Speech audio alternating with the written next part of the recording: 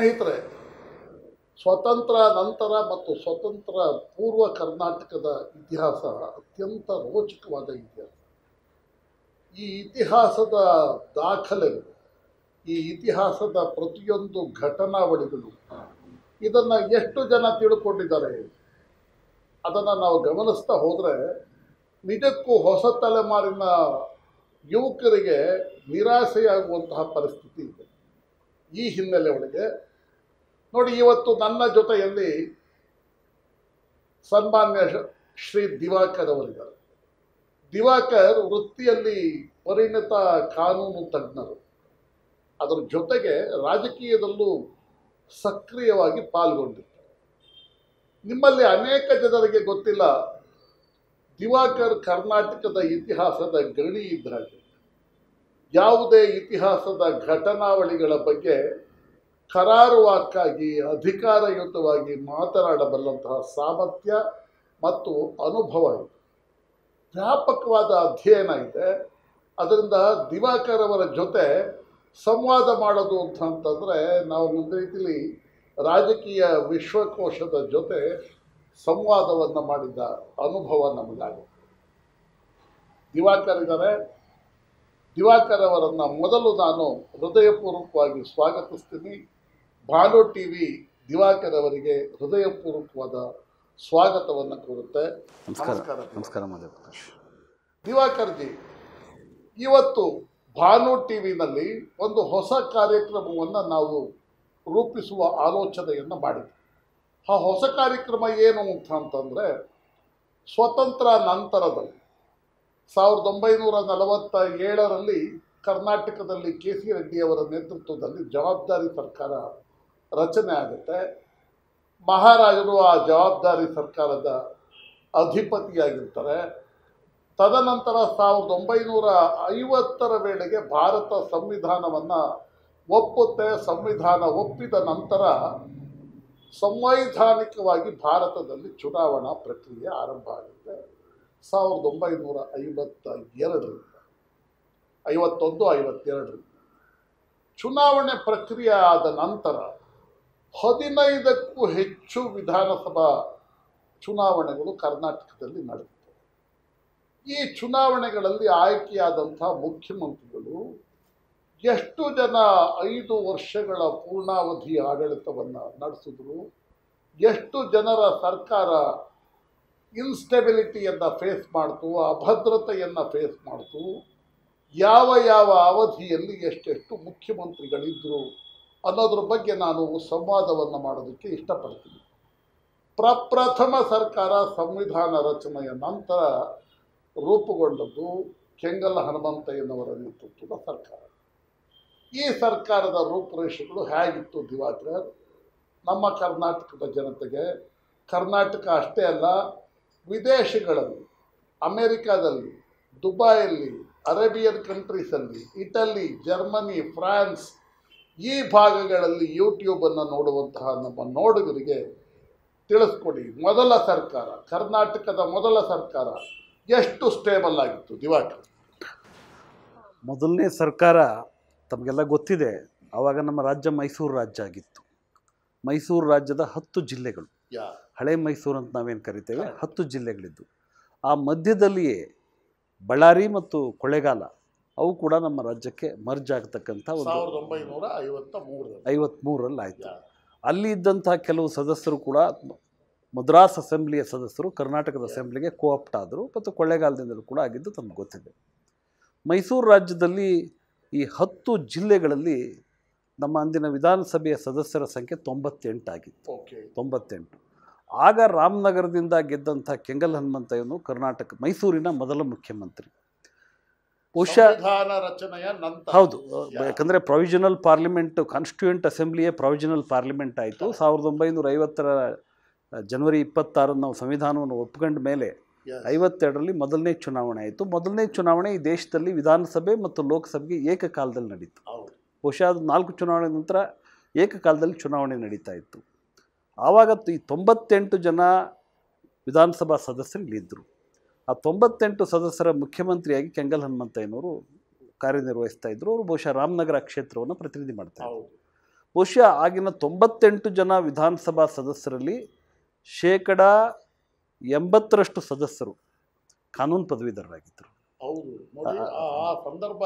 ಎಷ್ಟು ಚುನಾಯಿತ ಈಗಿನಾಗೆ ನೀವು ರಿಯಲ್ ಎಸ್ಟೇಟ್ನವರು ರೋಲ್ ಕಾಲ್ಗಳು ಇಂಥವರೆಲ್ಲ ಇರಲಿಲ್ಲ. ನಮ್ಮ ಕೆ ಸಿ ರೆಡ್ಡಿಯವರ ಫಸ್ಟ್ ಗೌರ್ಮೆಂಟ್ ಆ ಫಸ್ಟ್ ಗೌರ್ಮೆಂಟಲ್ಲಿ ಇದ್ದಂಥ ಸಚಿವರುಗಳ ಪಟ್ಟಿ ನೋಡಿದಾಗ ಶಾಕ್ ಆಯಿತು ನನಗೆ. ಎಲ್ಲರೂ ಲಾ ಪದವೀಧರರು. ಚೀಫ್ ಮಿನಿಸ್ಟರ್ ಭಾಳ ಭಾಳ ಕಡಿಮೆ ಎಜುಕೇಟೆಡ್ ಅಂತಿದ್ದವರು ಎಚ್ ಎಂ ಚನ್ನಬಸಪ್ಪನವ್ರು ಕಾಣುತ್ತೆ. ಬರೀ ಬಿ ಎಸ್ ಸಿ ಗ್ರ್ಯಾಜುಯೇಟ್ ಆಗಿದ್ದರು ಅವರು. ಉಳಿದವರೆಲ್ಲರೂ ಲಾ ಪದವೀಧರರಾಗಿದ್ದರು ಬಹುಶಃ ಬಳ್ಳಾರಿಯಿಂದ ಬಂದ ನಾಗನಗೌಡರು ಅಮೆರಿಕದಲ್ಲಿ ಪಿ ಎಚ್ ಡಿ ಮಾಡಿದವರಾಗಿದ್ದರು ಬಹುಶಃ ವಿದ್ ಆಗ ವಿದ್ಯೆಯ ದೃಷ್ಟಿಯಿಂದ ಮತ್ತು ಜ್ಞಾನದ ದೃಷ್ಟಿಯಿಂದ ಪರಿಪಕ್ವತೆಯನ್ನು ಹೊಂದಿರತಕ್ಕಂಥವರೇ ಮಂತ್ರಿಗಳಾಗಿದ್ದರು ಎಂಬುದು ಆ ಕರ್ನಾಟಕದ ಬಹುಶಃ ನಮ್ಮ ಆಡಳಿತ ವ್ಯವಸ್ಥೆ ಒಂದು ಮಾದರಿಯಾಗಲಿಕ್ಕೆ ಆ ಭದ್ರ ಬುನಾದಿ ಆ ವ್ಯಕ್ತಿಗಳ ವೈ ಒಂದು ಶೈಕ್ಷಣಿಕ ಜ್ಞಾನ ಕೂಡ ಕಾರಣ ಅಂತ ನಾವು ನೋಡಬೇಕಾಗುತ್ತೆ. ಇದನ್ನು ನೀವು ಹೇಳ್ತಾ ಆ ಶೈಕ್ಷಣಿಕ ಜ್ಞಾನ ಅಂದಲ್ಲ ಸಾವಿರದ ಒಂಬೈನೂರ ಐವತ್ತ ಮೂರರಲ್ಲಿ ರಿಸರ್ವೇಷನ್ ಪಾಲಿಸಿ ಬಗ್ಗೆ ಇಬ್ಬರು ಸಭೆಗಳು ಒಳಗೆ ಮಾತಾಡ್ತಾರೆ. ಅವರಿಬ್ಬರು ದಲಿತರು.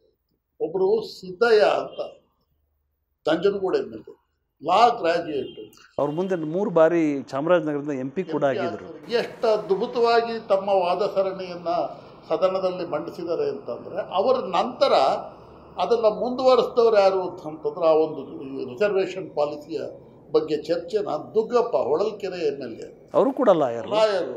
ಎಷ್ಟು ಅದ್ಭುತವಾಗಿ ಲಾ ಬಗ್ಗೆ ಪ್ರತಿಯೊಂದು ವಿಷಯಗಳನ್ನು ಜನಕ್ಕೆ ಯಾಕೆ ಈ ದಲಿತರಿಗೆ ಮೀಸಲಾತಿಯನ್ನು ಕೊಡಬೇಕು ಹಿಂದುಳಿದವರಿಗೆ ಮೀಸಲಾತಿಯನ್ನು ಕೊಡಬೇಕು ಅಂತ ಆ ಪಾಂಡಿತ್ಯ ಇದೆಯಲ್ಲ ಅವರ ವಿಷಯ ಸಂಗ್ರಹ ಇದೆಯಲ್ಲ ಸಿಂಪ್ಲಿ ಸರ್ಪ್ರೈಸಿಂಗ್ ಅದು ನಿಜ ಮಹದೇವ್ ಪ್ರಕಾಶ್. ಸ್ವಾತಂತ್ರ್ಯ ಬಂದಾಗ ನಮ್ಮ ಸಂವಿಧಾನದ ಅಮೂರ್ತ ಕಲ್ಪನೆ ಏನಿತ್ತು? ಅದು ಜನ ನಮ್ಮ ಆಡಳಿತವನ್ನು ಮೂರು ಭಾಗಗಳನ್ನ ವಿಕೇಂದ್ರೀಕರಣ ಮಾಡಿದ್ದೇವೆ. ಒಂದು ಶಾಸಕಾಂಗ ಇನ್ನೊಂದು ಕಾರ್ಯಾಂಗ ಮತ್ತೊಂದು ನ್ಯಾಯಾಂಗ. ಶಾಸಕಾಂಗದ ಕೆಲಸ ಈ ವರ್ಗಾವಣೆ ಮಾಡಿಸೋದಾಗಲಿ ಅಥವಾ ರಸ್ತೆಗೆ ಟಾರ್ ಹಾಕೋದಾಗಲಿ ಅಲ್ಲ ಅದು ಸ್ವಾತಂತ್ರ್ಯಾನಂತರ ಪ್ರಜಾಪ್ರಭುತ್ವ ವ್ಯವಸ್ಥೆ ಸುಭದ್ರವಾಗಬೇಕಾದ್ರೆ ನಮ್ಮ ಶಾಸನಗಳು ಜನಕಲ್ಯಾಣವನ್ನು ಬಯಸಬೇಕು. ನಾವೇನು ಕಲ್ಯಾಣ ರಾಜ್ಯ ಅಂತ ಏನು ಹೇಳ್ತೇವೆ ವೆಲ್ಫೇರ್ ಸ್ಟೇಟ್ ಆ ವೆಲ್ಫೇರ್ ಸ್ಟೇಟಿನ ಪರಿಕಲ್ಪನೆಯನ್ನು ಆ ಅಮೂರ್ತ ಕಲ್ಪನೆಗೆ ಮೂರ್ತ ಸ್ವರೂಪವನ್ನು ಕೊಡ್ತಕ್ಕಂಥ ಕೆಲಸ ಶಾಸನ ಸಭೆಗಳು ಮಾಡ್ತಾ ಇದ್ದಾರೆ ಹಾಗಾಗಿ ಪ್ರತಿಯೊಂದು ವಿಚಾರದಲ್ಲೂ ಕೂಡ ಬಹಳ ಆಳವಾದ ಚರ್ಚೆ. ತಾವು ಮೀಸಲಾತಿ ಇರ್ಬೋದು ಅಭಿವೃದ್ಧಿ ಇರ್ಬೋದು ಅಥವಾ ಬಹಳ ಬಜೆಟ್ ಇರ್ಬೋದು ಬಹಳ ಆಳವಾದ ಚರ್ಚೆ ನಡೀತಾ ಇತ್ತು. ಬಹುಶಃ ಇನ್ನೊಂದು ವಿಶೇಷ ಅಂದರೆ. ಐವತ್ತೆರಡರಿಂದ ಐವತ್ತೇಳರ ಸದನದ ನಡವಳಿಗಳನ್ನು ನೋಡಿದರೆ ಕನ್ನಡಕ್ಕಿಂತ ಹೆಚ್ಚು ಇಂಗ್ಲೀಷ್ನಲ್ಲಿ ಚರ್ಚೆಗಳಾಗ್ತಾ ಇದ್ದಿದ್ದನ್ನು ನಾವು ಗಮನಿಸಬಹುದು. ಬಹುಶಃ ಅವಾಗಿನ ಪ್ರಭಾವ ಇರ್ಬೋದು ಬ್ರಿಟಿಷರು ಆಗ್ತಾನೆ ಬಿಟ್ಟು ಹೋಗಿದ್ರು. ಭಾಷೆಯ ವಿಚಾರದಲ್ಲಿ ಇಂಗ್ಲೀಷ್ ಇತ್ತು ಒಂದು ಬಿಟ್ಟರೆ ಜನಪರ ಕಲ್ಪನೆಗಳ ವಿಚಾರದಲ್ಲಿ ಬಹಳ ಒಂದು ತಾತ್ವಿಕ ತಳಹದಿಯನ್ನು ನಾವು ಅಲ್ಲಿ ನೋಡಬಹುದು ಅಂತ ನನಗೆ ಅನ್ನಿಸ್ತದೆ. ಇದ್ರ ಜೊತೆಗೆ ಏಕೆ ಮತ್ತು ಐವತ್ತೆರಡರಿಂದ ಐವತ್ತೇಳರ ಕಾಲದಲ್ಲಿ ಕರ್ನಾಟಕದ ಇತಿಹಾಸದಲ್ಲಿ ಆಡಳಿತಕ್ಕಿಂತಲೂ ಹೆಚ್ಚು ನಾವು ಇತಿಹಾಸದ ಪುಟಗಳನ್ನು ಗಮನಿಸಿದಾಗ ಈ ರಾಜ್, ಈ ಕರ್ನಾಟಕ ಏಕೀಕರಣ ಆಗಬೇಕು ಅಂಬತಕ್ಕಂಥ ಒಂದು ಜನಾಶಯ ಏನಿತ್ತು, ಕನ್ನಡ ಮಾತನಾಡ್ತಕ್ಕಂಥ ಜನ ಒಂದಾಗಬೇಕು ಅಂಬತಕ್ಕಂಥ ಒಂದು ಮಾತುಕತೆ ಏನಿತ್ತು, ಅದು ಬರೀ ಕರ್ನಾಟಕ, ಮೈಸೂರು ವಿಧಾನಸಭೆಯಲ್ಲಿ ಮಾತ್ರ ಅಲ್ಲ. ಬಹುಶಃ ಅಂದಾನಪ್ಪ ದೊಡ್ಡಮೇಟಿಯವರು ಮುಂಬೈ ವಿಧಾನಸಭೆಯಲ್ಲಿ, ಆಮೇಲೆ ಕಳ್ಳಿಗೆ ಮಹಾಬಲ್ ಭಂಡಾರಿಯವರು ಕೇರಳ ವಿಧಾನಸಭೆಯಲ್ಲಿ, ಮಡ್ರಾಸ್ನಲ್ಲಿ ಕೂಡ ಇದ್ರ ಬಗ್ಗೆ ವ್ಯಾಪಕವಾದ ಚರ್ಚೆಯನ್ನು ಯು ಎಸ್ ಮಲ್ಯ ಅವರು ಮದ ಮದ್ರಾಸ್ ಶಾಸನ ಸಭೆಯಲ್ಲಿ ನಾವು ಭಾಷಾವಾರು ಪ್ರಾಂತ್ಯವನ್ನು ಒಪ್ಪಿಕೊಂಡಿದ್ದೆವು. ಆ ಕೆ ಆರ್ ಕಾರಂತರು ನಮ್ಮ ಶಿವರಾಮ್ ಕಾರಂತರ. ಅಣ್ಣ. ಇವರೆಲ್ಲರೂ ಕೂಡ ಆ ವಿಧಾನಸಭೆಗಳಲ್ಲೂ ಕೂಡ ಕರ್ನಾಟಕದ ಜನರ ಆಶಯವನ್ನು ಪ್ರತಿಬಿಂಬಿಸ್ತಾ ಇದ್ದರು. ಬಟ್ ಒಂದು ದಿವಾಕರ್ ನೀವು ಗಮನಿಸಿರಬಹುದು ಆ ಸಂದರ್ಭದಲ್ಲಿ ನಮ್ಮ ದಕ್ಷಿಣ ಕರ್ನಾಟಕದ ಕೆಲವು ಲೀಡರ್ಸ್ ಇದ್ರಲ್ಲ for example H K Veerannagowda Sahukar Chennaiah Uchmasthigowda K V Shankaregowda Boregowda ಇಂಥವರೆಲ್ಲರೂ Karnataka ಏಕೀಕರಣದ ತುಂಬ ಪ್ರಬಲವಾಗಿ ವಿರೋಧಿಸ್ತಾ ಇದ್ರು. ಅದು ಸಹಜ. ಯಾಕಂತಂದರೆ ಸ್ವಾತಂತ್ರ್ಯ ಹೋರಾಟದ ನಾನು ಇದನ್ನು ಹೇಳಿದರೆ ವೀಕ್ಷಕರು ಅಪಚಾರ ಮಾಡಿಕೊಳ್ಬಾರ್ದು. ಸ್ವಾತಂತ್ರ್ಯ ಹೋರಾಟಕ್ಕಾಗಿ ಕರ್ನಾಟಕದ ಇತಿಹಾಸದಲ್ಲಿ ಅತಿ ದೊಡ್ಡ ಹೋರಾಟ ಆಗಿರೋದು ಬಹುಶಃ ವಿದರಾಶ್ರಿತ ಹೋರಾಟ ಮತ್ತು ಶಿವಪುರ ಧ್ವಜ ಸತ್ಯಾಗ್ರಹವನ್ನು ಬಿಟ್ಟರೆ ಬಹಳ ದೊಡ್ಡ ದೊಡ್ಡ ಘಟನೆಗಳಾಗಿರೋದು ಮುಂಬೈ ಕರ್ನಾಟಕದಲ್ಲಿ. ಇದಾದ ಮೇಲೆ ಅತಿ ದೊಡ್ಡ ಹೋರಾಟ ನಡೆದಿರೋದು ರಜಾಕಾರರ ವಿರುದ್ಧ ಹೈದರಾಬಾದ್ ಕರ್ನಾಟಕದಲ್ಲಿ. ಬಹುಶಃ ನೀವು ಬಳ್ಳಾರಿಯಲ್ಲಿ ಆಗಲಿ ಅಥವಾ ಬಳ್ಳಾರಿ ಜೈಲಿನಲ್ಲಿ ದೇಶದ ಸ್ವಾತಂತ್ರ್ಯ ಹೋರಾಟಗಾರಂಥ ಕಾಮರಾಜ ರಾಜಾಜಿ ಅವರು ಇದ್ರು ಎಂಬುದು ಬಿಟ್ಟರೆ ಸ್ವಾತಂತ್ರ್ಯ ಹೋರಾಟಕ್ಕೆ ಬಹುದೊಡ್ಡ ಕೊಡುಗೆಯನ್ನು ಉತ್ತರ ಕರ್ನಾಟಕ ಮತ್ತು ವಿಶೇಷವಾಗಿ ಉತ್ತರ ಕನ್ನಡ ಕೊಟ್ಟಿದ್ದನ್ನು ನಾವು ನೋಡ್ತೇವೆ. ಹಳೆ ಮೈಸೂರಿನಲ್ಲಿ ಇಲ್ಲಿ ಬಹುಶಃ ಇಲ್ಲಿ ಇತಿಹಾಸದ ಕಾರಣದಿಂದ ಮತ್ತು ಇಲ್ಲಿ ಒಂದು ಆಡಳಿತ ಬಹಳ ಉತ್ತಮ ರೀತಿಯಲ್ಲಿ ಇದ್ದ ಕಾರಣದಿಂದ ಸ್ವಾತಂತ್ರ್ಯ ಹೋರಾಟದಲ್ಲಿ ಹಳೆ ಮೈಸೂರಿನ ಪಾತ್ರ ಉತ್ತರ ಕರ್ನಾಟಕ ಹೋಲಿಸಿದರೆ ಬಹಳ ಕಡಿಮೆ ಅಂತ ಅನಿಸುತ್ತೆ. ದಿವಾಕರ್, ಆ ಮಾತನ್ನ ನೀವು ಹೇಳ್ತಾ ಇದ್ದೀರಲ್ಲ, ಆ ಸಂದರ್ಭದಲ್ಲಿ ಸಾವಿರದ ಒಂಬೈನೂರ ಮೂವತ್ತೇಳರವರೆಗೆ ಮೈಸೂರು ಪ್ರದೇಶ ಕಾಂಗ್ರೆಸ್ ಸಮಿತಿ ಎನ್ನುವಂತಹ ಸಮಿತಿನೇ ಇರಲಿಲ್ಲ ಇಲ್ಲಿ. ಗಾಂಧೀಜಿ ಸಾವಿರದ ಒಂಬೈನೂರ ಮೂವತ್ತೇಳರಲ್ಲಿ ನಂದಿ ಬೆಟ್ಟಕ್ಕೆ ಬರ್ತಾರೆ ಇಲ್ಲಿ ಮೈಸೂರಲ್ಲಿ ಕಾಂಗ್ರೆಸ್ಸೇ ಇಲ್ವಲ್ಲ ಅಂತ ಹೇಳಿ ಟಿ ಸಿದ್ಲಿಂಗಯ್ಯದವ್ರದ್ದು ಕರೆಸಿ, ಟಿ ಸಿದ್ಲಿಂಗಯ್ಯ ಮತ್ತು ಬೇರೆ ಬೇರೆ ಲೀಡರ್ಸ್ ಜೊತೆಲಿ ಮಾತಾಡಿ T Siddalingaiah become the first president of Mysore Pradesh Congress ಅಲ್ಲ ಇದು ಬಹಳ ಬಹಳ ಪ್ರಮುಖವಾದ ಘಟನೆ. ಯಾಕಂದರೆ ಸಾವಿರದ ಎಂಟುನೂರ ಎಂಬತ್ತೈದರಲ್ಲಿ ಸ್ಥಾಪನೆಯಾದಂಥ ಕಾಂಗ್ರೆಸ್ ಎಂಬತ್ತೈದರಲ್ಲಿ ಮೂವತ್ತೇಳು ಇದು ಸುಮಾರು ಐವತ್ತು ವರ್ಷಗಳ ಕಾಲ ಈ ರಾಜ್ಯದಲ್ಲಿ ಅಸ್ತಿತ್ವವನ್ನೇ ಹೊಂದಿರಲಿಲ್ಲ ಅಂದಾಗ ಸಹಜವಾಗಿಯೇ ಕಾಂಗ್ರೆಸ್ ಪಕ್ಷದ ಆಶಯಗಳಾಗಲಿ ಗಾಂಧೀಜಿಯ ಕಲ್ಪನೆಗಳಾಗಲಿ ಈ ಅಥವಾ ಗ ನೈಂಟಿ ನಮ್ಮ ಅನೇಕ ಕಾಂಗ್ರೆಸ್ ಪ್ರೇರಿತ ಹೋರಾಟಗಳಾಗಲಿ ಅದರ ಪ್ರಭಾವ ಇಲ್ಲಿ ಆಗ್ಲಿಕ್ಕೆ ಸಾಧ್ಯ ಇಲ್ಲ ಅಂತ ನಂಗೆ ಅನ್ಸುತ್ತೆ. ನೀವು ಹೇಳಿದಾಗೆ ವಿದುರಾಶ್ವತ್ಥ ಒಂದು ಶಿವಪುರ. ಶಿವಪುರ ಧ್ವಜ ಸತ್ಯಾಗ್ರಹ ಎರಡು. ಇದಾದಮೇಲೆ ನಮ್ಮ ಜಿಲ್ಲೆಯಲ್ಲಿ ನೈನ್ಟೀನ್ ಫಾರ್ಟಿ ಟೂನಲ್ಲಿ ಈಸೂರಿನಲ್ಲಿ ಒಂದು ಹೋರಾಟ ಆಯಿತು. ಈಸೂರಿನ ಹೋರಾಟ ಈಸೂರು ಮೂಮೆಂಟಲ್ಲಿ ಏಳು ಜನ ಗಲ್ಲಿಗೇರಿದ್ರು. ಬಹುಶಃ ಅದೊಂದು ಐತಿಹಾಸಿಕ ಘಟನೆ. ಈ ಮೂರು ಘಟನೆಗಳು ಬಹಳ ಪ್ರಮುಖವಾದ ಘಟನೆಗಳು ಅದ ನಂತರ ಈ ಸ್ವತಂತ್ರ ಬಂದ ನಂತರ ಮೈಸೂರು ಮಹಾರಾಜ ಭಾರತ ಒಕ್ಕೂಟವನ್ನು ಸೇರೋದಕ್ಕೆ ರೆಫ್ಯೂಸ್ ಮಾಡಿದಾಗ ಮೈಸೂರು ಚಲೋ ಚಳವಳಿ ನಡೀತಲ್ಲ, ಅದೊಂದು ಹೋರಾಟ. ಸೊ ದಿವಾಕರ್, ಈಗ ನಾವು ಈ ಸ್ವತಂತ್ರ ಪೂರ್ವದ ಇತಿಹಾಸದ ಬಗ್ಗೆ ಸ್ಟ್ರೆಸ್ ಕೊಡ್ತಾ ಇದ್ದೀವಿ. ಇವತ್ತು ನಮ್ಮ ಸಬ್ಜೆಕ್ಟ್ ಏನು, ಕಂಟೆಂಟ್ ಏನು ಇವತ್ತು ನಾನು ವಿಷಯ ಏನು ಅಂದರೆ, ಪ್ರಥಮ ಸರ್ಕಾರ ಕೆಂಗಲ್ ಹನುಮಂತಯ್ಯನವರಿಂದ ಆರಂಭ. ಎಷ್ಟು ಸರ್ಕಾರಗಳು ಅಭದ್ರತೆಯನ್ನು ಫೇಸ್ ಮಾಡ್ತು ಈಗ ಪ್ರಥಮ ಸರ್ಕಾರ ಸಾವಿರದ ಒಂಬೈನೂರ ಐವತ್ತೆರಡರಿಂದ ಐವತ್ತಾರರವರೆಗಿತ್ತು. ಆ ಸಂದರ್ಭದ ಘಟನಾವಳಿಗಳ ಮೇಲೆ ಸ್ವಲ್ಪ ಬೆಳಕು ಚೆಲ್ಲಿ. ಕೆಂಗಲ್ ಹನುಮಂತಯ್ಯನವರು ಮುಖ್ಯಮಂತ್ರಿಗಳಾದರೂ ಕೂಡ ಬಹುಶಃ ಅವರು ಅಂದಿನ ಅಂದ ನಡೆದಂಥ ಎ ಐ ಸಿ ಸಿ ಅಧಿವೇಶನ ಹೈದರಾಬಾದ್ ಅಧಿವೇಶನದಲ್ಲಿರಬಹುದು ನಾನಲ ನಗರ್ ಅಧಿವೇಶನ. ಅಲ್ಲಿ ಕಾಂಗ್ರೆಸ್ ಪಕ್ಷದ ಗೊತ್ತುವಳಿಗೆ ಧಿಕ್ಕರಿಸಿ ಮಾತನಾಡ್ತಕ್ಕಂಥ ದಾಷ್ಟ್ಯವನ್ನು ಅವರು ತೋರಿದರು. ಆವಾಗ ನೆಹರು ಅವರನ್ನು ಯಾರೂ ಕೂಡ ಪ್ರಶ್ನೆ ಮಾಡಲಿಕ್ಕೆ ಸಾಧ್ಯ ಇಲ್ಲ ಅನ್ನುವ ಸಂದರ್ಭದಲ್ಲಿ ನೆಹರು ಅವರ ನಾಯಕತ್ವದಲ್ಲಿರ್ತಕ್ಕಂಥ ದೋಷಗಳನ್ನು ಅಥವಾ ಕಾಂಗ್ರೆಸ್ ಪಕ್ಷ ತೆಗೆದುಕೊಳ್ತಕ್ಕಂಥ ಕ್ರಮಗಳು ಹೇಗೆ ಒಕ್ಕೂಟ ವ್ಯವಸ್ಥೆಯಲ್ಲಿ ಅವಾಗ ಅವರು ಭಾಷಣದಲ್ಲಿ ಹೇಳ್ತಾರೆ India shall be union of states ರಾಜ್ಯದ ಮುಖ್ಯಮಂತ್ರಿಯಾದವನು ಪ್ರಧಾನಮಂತ್ರಿಯ ಗುಲಾಮನಲ್ಲ ಅಥವಾ ತಾನೊಬ್ಬ ಪ್ರಥಮ ದರ್ಜೆ ಗುಮಾಸ್ತನಲ್ಲ. ನಾನು ಒಂದು ಚುನಾಯಿತ ಸರ್ಕಾರದ ಮುಖ್ಯಸ್ಥ ಅಂತ ಹೇಳಿ ಅವರು ಭಾಷಣ ಶುರು ಮಾಡ್ತಾರೆ. ಬಹುಶಃ ಆ ಭಾಷಣದ ಒಟ್ಟು ವಿವರಗಳು ಸುಮಾರು ಸುದೀರ್ಘವಾಗಿದ್ದರೂ ಕೂಡ ಒಟ್ಟಾರೆ ಕೆಂಗಲ್ ಹನುಮಂತಯ್ಯನವರು ತನ್ನ ರಾಜ್ಯದಲ್ಲಿ ತನ್ನ ಮಂತ್ರಿಮಂಡಲದಲ್ಲಿ ಅನೇಕ ಪ್ರತಿರೋಧಗಳ ಮಧ್ಯೆಯೂ ಕೂಡ ಬಹುಶಃ ಏಕೀಕರಣಕ್ಕಿದ್ದಂಥ ಅವರ ಬದ್ಧತೆ ಇದೆಯಲ್ಲ ಅದು ಪ್ರಶ್ನಾತೀತ. ಅದೇ ನಾನಲ್ಲ ನಾನಲ ನಗರದಲ್ಲಿ ನಿಮಗೆ ಗೊತ್ತಿರಬಹುದು ನೀವು ಇತಿಹಾಸ ಓದೇ ಓದಿದ್ದೀರಿ. ಹಾರ್ನಳ್ಳಿ ರಾಮಸ್ವಾಮಿ ಅವರು ಒಂದು ರೆಸಲ್ಯೂಷನನ್ನು ಮೂವ್ ಮಾಡ್ತಾರೆ. ಆವಾಗ he was the young man ರೆಸಲ್ಯೂಷನನ್ನು move ಮಾಡಿ ಕರ್ನಾಟಕ ಏಕೀಕರಣ ಆಗಬೇಕು ಅಂತ. ಅವಕ್ಕೆ ಇವರು ನೆಹರು ಒಂದು ಪ್ರಶ್ನೆ ಕೇಳ್ತಾರೆ. ನೀವು ಏಕೀಕರಣಕ್ಕೆ ನೀವು ಒತ್ತಾಯ ಮಾಡ್ತಾ ಇದ್ದೀರಿ ನಿಮ್ಮ ಚೀಫ್ ಮಿನಿಸ್ಟರ್ ಅದನ್ನು ಒಪ್ತಾರ ಅಂದಾಗ ಕೆಂಗಲ್ ಹೇಳ್ತಾರೆ mister Nehru I am for unification of Karnataka ಅಂತ. ಅಲ್ಲ ಘಟನೆಗಳಿಂದಾಗಿ ಚರಿತ್ರೆ ನಿರ್ಮಾಣವಾಗತ್ತೆ. ಚರಿತ್ರೆಯಲ್ಲಿ ಕೊಂಡಿಗಳಾಗಿ ಅನೇಕ ಜನ ಕೆಲಸ ಮಾಡಿರ್ತಾರೆ. ಬಹುಶಃ ಹಾರ್ನಳ್ಳಿ ರಾಮಸ್ವಾಮಿಯವರ ಪಾತ್ರ ಕೂಡ ಬಹಳ ಮುಖ್ಯ. ಆವಾಗ ಈ ಎ ಐ ಸಿ ಸಿ ಅಧಿವೇಶನಕ್ಕೆ ಹೋಗಬೇಕಾದ್ರೆ ಈಗ ನನಗೆ ನಾವು ವ್ಯಾನ್ ತಂದ್ಕೊಂಡು ಅಧಿವೇಶನಕ್ಕೆ ಜನ ತುಂಬಿಸ್ಕೊಂಡು ಹೋಗೋ ಪ್ರಯತ್ನ. ಭಾಳ ಶಾಸ್ತ್ರಬದ್ಧವಾಗಿ ಬ್ಲಾಕ್ ಸಮಿತಿ ಜಿಲ್ಲಾ ಸಮಿತಿ ಎ ಐ ಸಿ ಸಿ ಸದಸ್ಯರಾಗಿ ಹೋಗೋರು ಒಂದು ರಾಜ್ಯದಿಂದ ಐವತ್ತೈವತ್ತೆರಡು ಜನ ಮಾತ್ರ ಹೋಗ್ತಾಯಿದ್ರು ಆ ಎ ಐ ಸಿ ಸಿ ಸದಸ್ಯ ಅಂಬೋನಿಗೆ ಕೂಡ ಸಾಂಘಿಕವಾಗಿ ಅತಿ ದೊಡ್ಡದಾದಂಥ ಒಂದು ಜವಾಬ್ದಾರಿ ಇತ್ತು. ಹಾಗಾಗಿ ಈ ಗೊಂದಲಗಳ ಮಧ್ಯೆಯೂ ಕೂಡ ಆ ಒತ್ತಡ ಒಂದು ಈ ಕರ್ ಮೈಸೂರು ಸರ್ಕಾರವನ್ನು ಏಕೀಕರಣಕ್ಕೆ ಒಪ್ಪಿಸುವಲ್ಲಿ ಕೆಂಗಲ್ ಹನುಮಂತಯ್ಯನವರ ಪಾತ್ರ ಮಹತ್ವವಾದದ್ದು. ಆದರೆ ಹಳೆ ಮೈಸೂರಿನ ಅನೇಕ ನಾಯಕರು, ಬಹುಶಃ ತಮಗೆ ಗೊತ್ತಿದೆ, ಜಾತಿ ವ್ಯವಸ್ಥೆ ಮತ್ತು ಮೀಸಲಾತಿ ವ್ಯವಸ್ಥೆ ಹಳೆ ಮೈಸೂರಿನಲ್ಲಿ ಮಹಾರಾಜರ ಕಾಲದಿಂದ ಬಂದ ಕಾಲದಿಂದಲೂ ಸ್ವಾತಂತ್ರ್ಯ ನಂತರ ಎಲ್ಲೋ ಒಂದು ಕಡೆ ಏಕೀಕರಣದ ನಂತರ ಕರ್ನಾಟಕದ ಜನಸಂಖ್ಯೆಯಲ್ಲಿ ಮತ್ತು ಕರ್ನಾಟಕದ ಆಡಳಿತ ವ್ಯವಸ್ಥೆಯಲ್ಲಿ ಜಾತಿ ವ್ಯವಸ್ಥೆ ಬಹುದೊಡ್ಡ ಪಾತ್ರವನ್ನು ಆಡ್ತದೆ. ಆ ಸಂದರ್ಭದಲ್ಲಿ ಹಳೆ ಮೈಸೂರಿನ ಅತ್ಯಂತ ಪ್ರಭಾವಿ ಸಮುದಾಯವಾದಂಥ ಒಕ್ಕಲಿಗ ಜನಾಂಗ ಏಕೀಕರಣದ ನಂತರ ಬರ್ತಕ್ಕಂಥ ಜನಾಂಗಗಳ ಸಂಖ್ಯೆ ಆಧಾರದ ಮೇಲೆ ದುರ್ಬಲವಾಗ್ತದೆ ಎಂಬತಕ್ಕಂಥ ಒಂದು ದೂರದೃಷ್ಟಿಯನ್ನು ಕೂಡ ಕೆಲ ಅದನ್ನ ನೇರವಾಗಿ ಹೇಳಿದ್ರು. ನೇರವಾಗಿ ಅಲ್ಲ. ಮಂಡ್ಯ ಜಿಲ್ಲೆಯ ಎಲ್ಲ ಜನನಾಯಕರು ಮೈಸೂರು ಮಂಡ್ಯದ Sahukar Chennaiah H K Veerannagowda K V Shankaregowda Uchmasthigowda Boregowda ಆಮೇಲೆ ಇನ್ಕ್ಲೂಡಿಂಗ್ ದೇವರಾಜರಸ್ ಅವರೆಲ್ಲರೂ ಸಭೆ ಸೇರಿ ಕರ್ನಾಟಕ ಯೂನಿಫಿಕೇಷನ್ ಆದರೆ ಲಿಂಗಾಯತರ ಪ್ರಾಬಲ್ಯ ಹೆಚ್ಚಾಗುತ್ತೆ. ಯಾವುದೇ ಕಾರಣಕ್ಕೆ ಅದಕ್ಕೆ ಅವಕಾಶ ಕೊಡಬಾರ್ದು. ಜೊತೆಗೆ ಈಗಾಗಲೇ ಮೈಸೂರು ರಾಜ್ಯ ದೊಡ್ಡ ಪ್ರಮಾಣದಲ್ಲಿ ಅಭಿವೃದ್ಧಿಯನ್ನು ಹೊಂದಿದೆ. ಏನೇನೋ ಅಭಿವೃದ್ಧಿ ಹೊಂದದ ಹೈದರಾಬಾದ್ ಕರ್ನಾಟಕ ಮತ್ತು ಮುಂಬೈ ಕರ್ನಾಟಕಕ್ಕೆ ನಮ್ಮ ಸಂಪನ್ಮೂಲವನ್ನು ಅಲ್ಲಿಗೆ ಹರಿಸಬೇಕಾಗುತ್ತೆ. ಅದರಿಂದ ಯಾವುದೇ ಕಾರಣಕ್ಕೂ ಅದು- ಅದಕ್ಕೆ ಅವಕಾಶ ಆದ್ರೆ ಇರ್ಬೋದು ಅದರ ಒಂದು ಆಗ ಚಿತ್ರದುರ್ಗದ ಪಾರ್ಲಿಮೆಂಟ್ ಮೆಂಬರ್ ಅಂತ ಸಿದ್ದವನಹಳ್ಳಿ ನಿಜಲಿಂಗಪ್ಪನವರು ಈ ಏಕೀಕರಣವಾಗತಕ್ಕಂಥ ಭೂಪ್ರದೇಶದಲ್ಲಿ ಬಹಳ ದೊಡ್ಡ ನಾಯಕರಾಗಿತ್ತು ಪ್ರಭಾವಿ ನಾಯಕರು.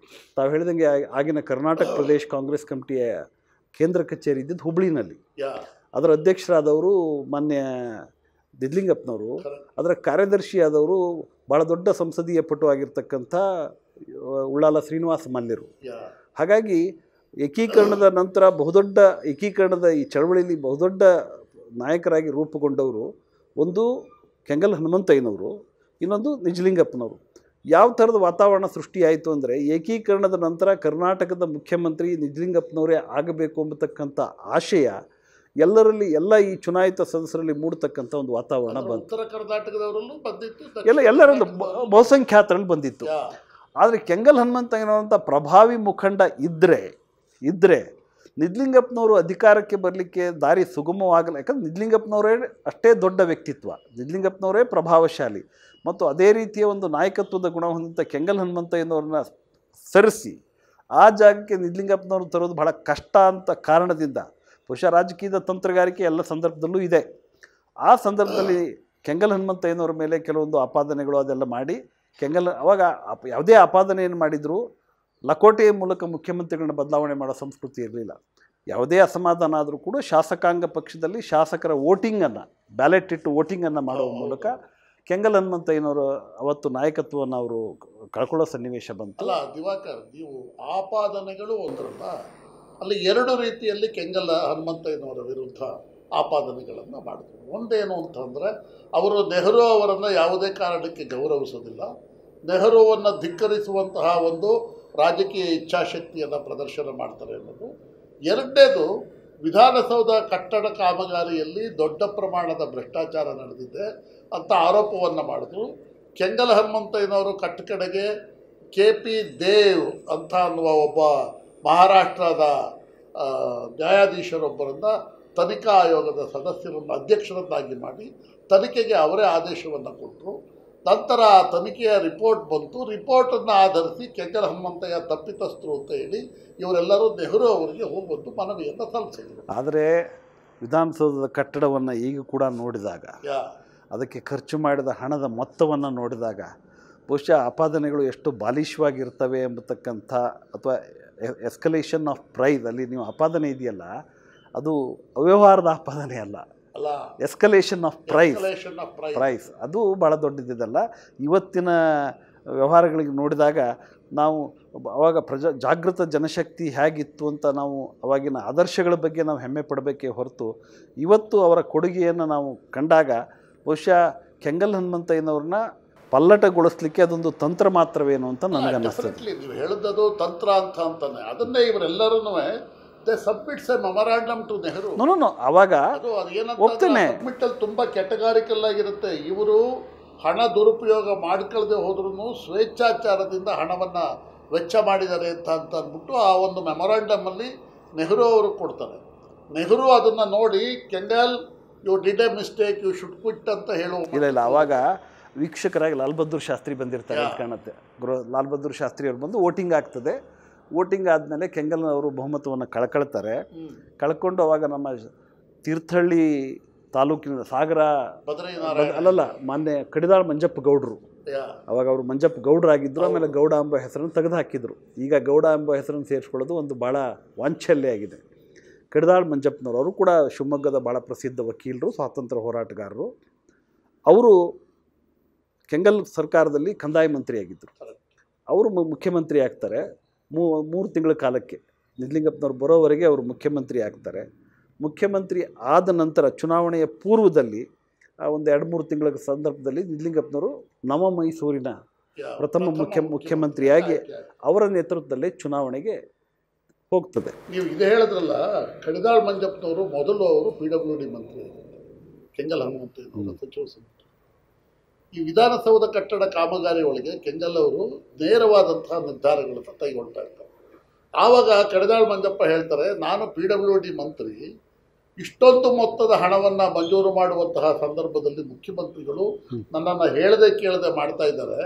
ನಾನು ಯಾಕೆ ಪಿ ಡಬ್ಲ್ಯೂ ಡಿ ಮಂತ್ರಿ ಆಗಿರಬೇಕು? ಆ ಇಲಾಖೆನ ಅವರೇ ಇಟ್ಕೊಂಡು ಬೇರೆ ಖಾತೆ ನನಗೆ ಕೊಡಲಿ ಅಂದಾಗ ಪಿ ಡಬ್ಲ್ಯೂ ಡಿಗೆ ಬದಲಾಗಿ ಅವರು ಕಂದಾಯ ಇಲಾಖೆಯನ್ನು ಕೊಡ್ತಾರೆ. ಆವಾಗ ಪಿ ಡಬ್ಲ್ಯೂ ಡಿಗೆ ಮರಾಮತ್ ಖಾತೆ ಅಂತ ಕರೀತಾರೆ ಯಾವ ಇದ್ರು. ಮರಾಮತ್? ಇಲಾಖೆ ಅಂತ. ಕರಿತಾ ಇದ್ರು. ಕೆಂಗಲ್ ಹನುಮಂತಯ್ಯನವರು ಮೊನ್ನೆ ಕಡದಾಳ್ ಮಂಜಪ್ಪನವರು ಕೂಡ ಅವರ ಜೀವನ ಚರಿತ್ರೆಯಲ್ಲಿ ಘಟನೆಗಳನ್ನು ದಾಖಲೆ ಮಾಡಿದ್ದಾರೆ. ನನಸಾಗದ ಕನಸು ಅಂತ. ಭಾಳ ಒಳ್ಳೆಯ ಪುಸ್ತಕ ಅದು. ನಮ್ಮ ಹೊಸ ತಲೆಮಾರಿನವರು ಅದು ಓದಬೇಕು ಅಂತ ನಾನು ಭಾವಿಸ್ತೇನೆ. ಕಡದಾಳ್ ಮಂಜಪ್ಪನವರು ತಾವು ಮುಖ್ಯಮಂತ್ರಿ ಆದ ಮೇಲೆ ಅವಾಗ ಕುಮಾರಕೃಪದಲ್ಲಿ ವಾಸ ಮಾಡ್ತಾ ಇರ್ತಾರೆ. ಯಾರು? ಕೆಂಗಲ್ ಹನುಮಂತ ಮುಖ್ಯಮಂತ್ರಿ ನಿವಾಸ ಅದು. ಅಲ್ಲಿ ಹೋಗಿ ಹೇಳ್ತಾರೆ ನೀವು ನಮ್ಮ ಸಂಪುಟಕ್ಕೆ ಸೇರಬೇಕು ಅಂತ ಇಲ್ಲ ನಾನು ಸೇರೋದಿಲ್ಲ ಅಂತ. ಅದು ಸೌಜನ್ಯ ದೃಷ್ಟಿಯಿಂದ. ಆದರೆ ಅವರು ಮಂತ್ರಿ ಆದರೂ ಕೂಡ ಕೆಂಗಲ್ ಸಂಪುಟದ ಯಾವ ಮಂತ್ರಿಗಳನ್ನು ತೆಗೆಯೋದಿಲ್ಲ. ಓಕೆ. ಅದೇ ಸಂಪುಟವನ್ನು ಇಟ್ಕೊಂಡೇ ಯಾವ ಅಥವಾ ತೆಗೆದು ಹಾಕಿದವ್ರನ್ನೂ ಮಂತ್ರಿ ಮಾಡೋದಿಲ್ಲ. ಅವರು ಆ- ಮಂತ್ರಿಮಂಡಲ ಇಟ್ಕೊಂಡೇ ಅವರು ಸುಮಾರು ನೂರ ಹದಿಮೂರು ದಿನಗಳ ಕಾಲ ಮುಖ್ಯಮಂತ್ರಿಯಾಗಿರ್ತಾರೆ ಆಮೇಲೆ ನಿಜ್ಲಿಂಗಪ್ಪನವ್ರು ಬಂದು ಐವತ್ತೇಳರ ಚುನಾವಣೆಗೆ ಬರ್ತಾರೆ ಬಹುಶಃ ಏಕೀಕರಣ ಆದ ತಕ್ಷಣವೇ ನಿಜಲಿಂಗಪ್ಪನವ್ರು ಮುಖ್ಯಮಂತ್ರಿ ಆಗ್ತಾರೆ ಸಾವಿರದ ಒಂಬೈನೂರ ಐವತ್ತಾರು ನವೆಂಬರ್ ಒಂದು. ನಾನು ಐವತ್ತ ನವೆಂಬರ್ ಒಂದು ಆದಮೇಲೆ ನಿಜ್ಲಿಂಗಪ್ಪನವ್ರ ನೇತೃತ್ವದಲ್ಲೇ ಐವತ್ತೇಳರ ಚುನಾವಣೆ. ಅದು ಮುಖ್ಯಮಂತ್ರಿ. ಅಂದರೆ ನಿಜಲಿಂಗಪ್ಪನವರು ಪ್ರಥಮ ಮುಖ್ಯಮಂತ್ರಿ ಆಗಿರೋದು ಕೆಲವು ತಿಂಗಳುಗಳಿಗೆ ಮಾತ್ರ. ನವ ನವಮೈಸೂರು ಕೆಲವು ತಿಂಗಳಿಗೆ ಮಾತ್ರ. ಈ ಐವತ್ತೇಳರ ಚುನಾವಣೆಯ ಚುನಾವಣೆ ಪೂರ್ವದಲ್ಲಿ ಬಹುಶಃ ಕೆಂಗಲ್ ಹನುಮಂತಯ್ಯನವ್ರನ್ನ ಇಳಿಸಿ ಅವರ ಸಂಪುಟದ ಸದಸ್ಯರಾದಂಥ ಅವರ ಕೋಮಿಗೆ ಸೇರಿದಂಥ ಕಡದಾಳ್ ಮಂಜಪ್ಪನವರನ್ನು ಮುಖ್ಯಮಂತ್ರಿ ಮಾಡಿದ್ದಿದೆಯಲ್ಲ ಬಹುಶಃ ಅದು ಪ್ರ ಕರ್ನಾಟಕದ ಪ್ರಥಮ ಈ ಸರ್ಕಾರದ ಸ್ಥಿರತೆಯನ್ನು ತೆಗಿತಕ್ಕಂಥ ಪ್ರಥಮ ನಿದರ್ಶನ. ಅಂದರೆ ಸಾವ ಸಂವಿಧಾನ ರಚನೆಯ ನಂತರ ರೂಪುಗೊಂಡಂತಹ ರಚನೆಗೊಂಡಂತಹ ಪ್ರಥಮ ಸರ್ಕಾರನು ಪೂರ್ಣಾವಧಿ ಸ್ಥಿರ ಸರ್ಕಾರವೂ ಆಗಿರಲಿಲ್ಲ. ಹಾಗೆ ತಾಂತ್ರಿಕವಾಗಿ ನೋಡಿದರೆ ಆ ಐವತ್ತೆರಡರ ಐವತ್ತೇಳರ ಐದು ವರ್ಷದ ಅವಧಿಯಲ್ಲಿ ಮೂರು ಜನ ಮುಖ್ಯಮಂತ್ರಿಗಳು ನೋಡ್ತೇವೆ. ನಿಜಲಿಂಗಪ್ಪನವರು ಕಡದಾಳ್ ಮಂಜಪ್ಪಗೌಡರು ಮತ್ತು ಕೆಂಗಲ್ ಹನುಮಂತಯ್ಯನವರು. ಹನುಮಂತಯ್ಯ. ಮತ್ತು ಇವರೆಲ್ಲರೂ ಕೂಡ ಈಗ ನನಗೆ ಕಂಠೀರವ ಸ್ಟೇಡಿಯಂನಲ್ಲಿ ಪ್ರಮಾಣ ವಚನ ತಗೋಬೇಕು ವಿಧಾನಸೌಧದ ಕಟ್ಟೆ ಮೇಲೆ ಇಲ್ಲ. ಈ ಎಲ್ಲರೂ ಕೂಡ ಮೈಸೂರಿಗೆ ಹೋಗಿ ಅಂದಿನ ರಾಜ ಪ್ರಮುಖರಾಗಿದ್ದಂಥ ಒಡೆಯರ್ ಅವರ ಸಮ್ಮುಖದಲ್ಲಿ ಆ ದರ್ಬಾರ್ ಡ್ರೆಸ್ನಲ್ಲೇ ಇವರು ಸಂಪುಟದ ಪ್ರಮಾಣ ವಚನ ಸಮ ಮುಖ್ಯಮಂತ್ರಿ ಮತ್ತು ಮಂತ್ರಿಗಳ ಸಂ ಪ್ರಮಾಣ ವಚನ ಸಮಾರಂಭ ಆ ಆ ಅವಧಿಯಲ್ಲಿ ನಡೆದಿರೋದು ಮೈಸೂರಿನಲ್ಲಿ. ಇದು ಕರ್ನಾಟಕದ ಪ್ರಥಮ ಸರ್ಕಾರ. ಎಷ್ಟು ಅಭದ್ರ ಸ್ಥಿತಿಯಲ್ಲಿತ್ತು ಅನ್ನೋದರ ದ್ಯೋತಕ. ಅಂದರೆ ಪ್ರಥಮ ಸರ್ಕಾರವೇ ಮೂರು ಮುಖ್ಯಮಂತ್ರಿಗಳನ್ನು ಕಾಣ್ತದೆ. ನೀವೇ ಹೇಳಿದಾಗೆ ಕೆಂಗಲ್ ಹನುಮಂತಯ್ಯ, ತದನಂತರದಲ್ಲಿ ಕಡಿದಾಳ್ ಮಂಜಪ್ಪಗೌಡ ಅವರು ಮೂರನೆಯವರು ಎಸ್ ನಿಜಲಿಂಗಪ್ಪ. ಇದು ಸಾವಿರದ ಒಂಬೈನೂರ ಐವತ್ತ ಎರಡರಿಂದ ಐವತ್ತ ಏಳರವರೆಗೆ ಕರ್ನಾಟಕ ಮೂರು ಜನ ಮುಖ್ಯಮಂತ್ರಿಗಳನ್ನು ಕಾಣಿತು ಅಂತ ಒಂದು ಇನ್ಸ್ಟೇಬಲ್ ಸರ್ಕಾರ ಇಲ್ಲಿತ್ತು. ಇಲ್ಲ ಇಲ್ಲ ನಾನು ಅದನ್ನು ನೀವು I differ with you stability ವಿಚಾರದಲ್ಲಿ ಪಾಲಿಸಿ ವಿಚಾರದಲ್ಲಿ ಮಂತ್ರಿಮಂಡಲದ ಸದಸ್ಯರ ವಿಚಾರದಲ್ಲಿ ಯಾವುದೇ ಗೊಂದಲಗಳು ಇಲ್ಲದ ಕಾರಣದಿಂದ ಸರ್ಕಾರದ ಕಾರ್ಯಕ್ರಮಗಳು ಅಲ್ಲಿಯ ಬಜೆಟ್ಟು ಮತ್ತು ಬ್ಯೂರೋಕ್ರಸಿ ಎಲ್ಲವೂ ಕೂಡ ಸಿಸ್ಟಮೆಟಿಕ್ ಇದ್ದಿದ್ದರಿಂದ ಆವಾಗ ತಮಗೆ ಗೊತ್ತಿದೆ. ವಿಧಾನಸಭೆ ನಡೀತಾ ಇದ್ದಿದ್ದು ಈಗ ನಾವು ಹೈಕೋರ್ಟ್ ನಾವು ಪ್ರಾಕ್ಟೀಸ್ ಮಾಡೋ ಹೈಕೋರ್ಟ್ ಅಠಾರ ಕಚೇರಿ ಅಂತ ಕರೆಯೋರು ಅಲ್ಲಿ ಅಧಿವೇಶನ ನಡೀತಾ ಇತ್ತು. ಆದ್ದರಿಂದ ಮಂತ್, ಮುಖ್ಯಮಂತ್ರಿಯ ಬದಲಾವಣೆ ಆಯಿತು ಎಂಬುದೊಂದು ಬಿಟ್ಟರೆ ಸ್ಥಿರತೆಯ ದೃಷ್ಟಿಯಿಂದ ಅಥವಾ ಇನ್ನೂ ಕರ್ನಾಟಕದ ಭೌಗೋಳಿಕ ವ್ಯಾಪ್ತಿ ವಿಶಾಲವಾಯಿತು ಆ ಐವತ್ತೆರಡು, ಐವತ್ತೇಳರ ಏಕೀಕರಣದ ನಂತರ. ಹಾಗಾಗಿ ಆಡಳಿತಾತ್ಮಕವಾಗಿ ಅಥವಾ ಅಡ್ಮಿನಿಸ್ಟ್ರೇಟಿವ್ ಆಗಿ ಈ ಪ್ರಥಮ ಅವಧಿಯಲ್ಲಿ ಮಂತ್ ಕೆಂಗಲ್ ಹನುಮಂತಯ್ಯನವ್ರನ್ನ ತಾಂತ್ರಿಕವಾಗಿ ಅಥವಾ ಷಡ್ಯಂತ್ರದಿಂದ ತೆಗೆದ್ರು ಎಂಬುದೊಂದು ಬಿಟ್ಟರೆ ನಾನು ಅದು ಅತ್ಯಂತ ಅಸ್ಥಿರ ಸರ್ಕಾರ ಅಂತ ಯಾಕಂದರೆ ಒಂದೇ ರಾಜಕೀಯ ಪಕ್ಷ ಇತ್ತು. ನಾನು ನಿಮ್ಮ ಮಾತನ್ನು ಒಪ್ತಾನೇ ನಾನು ಹೇಳ್ತೀನಿ ಒಬ್ಬ ಮುಖ್ಯಮಂತ್ರಿ ಕೆಂಗಲ್ ಹನುಮಂತಯ್ಯ ನಾವು ನೈನ್ಟೀನ್ ಫಿಫ್ಟಿ ಸಿಕ್ಸ್ ನವೆಂಬರ್ ಒಂದರವರೆಗೂ ಮುಖ್ಯಮಂತ್ರಿ ಆಗ್ಬೋದಾಗಿತ್ತು ಅಥವಾ ಆನಂತರವೂ ಮುಖ್ಯಮಂತ್ರಿ ಆಗಿರ್ಬೋದಾಗಿತ್ತು. ಯಾಕೆಂತಂದ್ರೆ ಅವರು ಅಲ್ಲಲ್ಲ, ಸ್ವತಂತ್ರ ಬಹುಶಃ- ಒಂದು ನಿಮಿಷ ಐ ವಿಲ್ ಕಂಪ್ಲೀಟ್ ಇಟ್ ಅವರು ಸ್ವತಂತ್ರ ಹೋರಾಟದಲ್ಲಿ ಸಕ್ರಿಯವಾಗಿ ಪಾಲ್ಗೊಂಡಿದ್ದರು ಪ್ರಾಮಾಣಿಕತೆ ಮತ್ತು ದಕ್ಷತೆಗೆ ಪ್ರಶ್ನೆ ಯಾರೋ ಪ್ರಶ್ನೆ ಮಾಡಿದಾಗಿದ್ರು. ಅಂಥವ್ರನ್ನ ಪೂರ್ಣಾವಧಿಗೆ ಉಳಿಸ್ಬೋದಾಗಿತ್ತಲ್ಲ. ಅಂದರೆ ಅಲ್ಲಿಯೂ ರಾಜಕೀಯದ ತಂತ್ರಗಾರಿಕೆಗಳು ಮೇಲಾಟಗಳು ಕಾಲೆಳೆಯುವ ತಂತ್ರ ಕುತಂತ್ರಗಳು ನಡೀತು. ಆ ನಡೆದ ಕಾರಣದಿಂದಲೇ ಕೆಂಗಲ್ ಮುಖ್ಯಮಂತ್ರಿ ಪದವಿಯನ್ನು ಕಳ್ಕೊಂಡ್ರು. ನೀವು ಹೇಳಿದಾಗೆ ಕಡದಾಳ್ ಮಂಜಪ್ಪಗೌಡರನ್ನ ಕೂರ್ಸೋದಕ್ಕೆ ಕಾರಣ ಏನು ಅಂತಂದರೆ ಕೆಂಗಲ್ ಹನುಮಂತಯ್ಯ ಅನ್ನುವಂತಹ ಒಬ್ಬ ಸ್ಟೇಬಲ್ ಮುಖ್ಯಮಂತ್ರಿ ಇದ್ದರೆ ನಿಜಲಿಂಗಪ್ಪನವ್ರನ್ನ ಕೂರ್ಸಕ್ಕಾಗಲ್ಲ ಅಂತ ಅನ್ನೋದು ಒಂದು ತಂತ್ರವೇ ತಾನೆ? ಇದ್ರ ಜೊತೆ ಅಂದ್ರೆ ಇವೆಲ್ಲ ರಾಜಕೀಯದ ಅಸ್ಥಿರತೆಗೆ ನಿಮ್ಮ ನಿಮ್ಮ ಎಲ್ಲ ಎಲ್ಲ ಅನೇಕ ನಾಲ್ಕೈದು ಅಂಶಗಳನ್ನು ನೀವು ಎತ್ತಿ ತೋರಿಸಿದ್ದೀರಿ. ನಾನು ಅದನ್ನು ಒಪ್ತೇನೆ. ಇದ್ರ ಜೊತೆಗೆ ಇಲ್ಲಿ ಕರ್ನಾಟಕದ ಜಾತಿ ರಾಜಕಾರಣ ಅಂತ ತಾವೇನೀಗ. ತಾವು ಅನೇಕ ತಮ್ಮ ಲೇಖನಗಳಲ್ಲಿ ಚರ್ಚೆಗಳಲ್ಲಿ ಹೇಳ್ತಾ ಇದ್ದೀರಲ್ಲ ಈ ಜಾತಿ ರಾಜಕಾರಣದ ಒಂದು ಸದೃಢ ಬೀಜದ ನೆಡ್ತಕ್ಕಂಥ ಕೆಲಸ ಆ ಸಂದರ್ಭದಲ್ಲಿ ಆಯಿತು ಎಂಬ ಸತ್ಯವನ್ನು ನಾವು ಒಪ್ಕೊಳ್ಬೇಕಾಗತ್ತೆ. ಇದರ ಜೊತೆಗೆ ತೊಂಬತ್ತೆಂಟು ಜನ ಇದ್ದರೂ ಕೂಡ ಈವನ್ ಅಲ್ಲಿ ಆಗಿನ ಸಂದರ್ಭದಲ್ಲಿ ವಿರೋಧ ಪಕ್ಷದಲ್ಲಿ ಹದಿನೈದು ಹದಿನಾರು ಜನ ಸದಸ್ಯರು ಮಾತ್ರ ಇದ್ದರು ಶ ನಮ್ಮ ಸಾಗರ ಕ್ಷೇತ್ರದ ಶಾಂತಿವೇರಿ ಗೋಪಾಲ್ಗೌಡರು ಚಿತ್ರದುರ್ಗದಿಂದ ಮುಲ್ಕಾ ಗೋವಿಂದ ರೆಡ್ಡಿ ಅವರು ಜಗಳೂರು ಇಮಾಮ್ ಅವರು ಈ ಥರ ಅನೇಕ ಜನ ಡಿ ದೇವರಾಜ ದೇ ದೇವರಾಜರ್ಸು ಇವ್ರ ಆಮೇಲೆ ರಾಜಶೇಖರ ಮೂರ್ತಿ ಅವರು ಯಾ, ಬಹುಶಃ ಭಾಳ ಸುದೀರ್ಘ ಕಾಲ ವಿಧಾನಸಭೆಯಲ್ಲಿದ್ದು ಕೂಡ ಕಡೆ ಅಂತಿಮ ದಿನದಲ್ಲಿ ನಾಯಕರಾಗಿದ್ದು ಬಿಟ್ಟರೆ ಪ್ರಾರಂಭದಲ್ಲಿ ಅವರು ಅಂಥ ಪ್ರವರ್ಧಮಾನಕ್ಕೆ ಬರದೇ ಅಂತ ಆಗಿರಲಿಲ್ಲ. ಬಹುಶಃ ಆ ಸಂದರ್ಭದಲ್ಲಿ ಸರ್ಕಾರದಲ್ಲಿ ಇದ್ದಂಥ ಸಿದ್ವೀರಪ್ಪನವರು ಚನ್ನಬಸಪ್ಪನವರು ಇವರೆಲ್ಲರೂ ಕೂಡ ಇವರೆಲ್ಲರೂ ಕೂಡ ಎಪ್ಪತ್ತೆಂಟು ಎಂಬತ್ತು ಕ ಮುಂದಿನ ಮೂರು ದಶಕಗಳವರೆಗೆ ಕರ್ನಾಟಕದ ರಾಜಕಾರಣದಲ್ಲಿ ಬಹಳ ಪ ಹುಚ್ಚಮಾಸ್ತಿಗೌಡರು. ಅವರು ತೊಂಬತ್ತರ ತನಕ ಇದ್ದರು. ಭಾಳ ಪರಿಣಾಮಕಾರಿ ನಾಯಕತ್ವವನ್ನು ನಿಜವಾದ ಜನನಾಯಕರ ಸೃಷ್ಟಿ ಮತ್ತು ಪ್ರಾತಿನಿಧ್ಯ ಆ ಸದನದಲ್ಲಿ ಕೂಡ ಇತ್ತು ಎಂಬುದು ಬಹಳ ಮುಖ್ಯ ಆಗ್ತದೆ. ದಿವಾಕರ್ ಈಗ ನೋಡಿ ನೈನ್ಟೀನ್ ಫಿಫ್ಟಿ ಟೂ ಇಂದ ಫಿಫ್ಟಿ ಸೆವೆನ್ನವರೆಗೆ ಆದ ಘಟನಾವಳಿಗಳನ್ನು ಸಂಕ್ಷಿಪ್ತವಾಗಿ ನೀವು ತಿಳಿಸಿದ್ರಿ ಅಂದರೆ ನೀವು ನಾವು ಏನೇನಾಯಿತು ಅನ್ನೋದ್ರ ಬಗ್ಗೆ ನಮ್ಮ ನೋಡುಗರಿಗೆ ತಿಳಿಸಿದ್ವಿ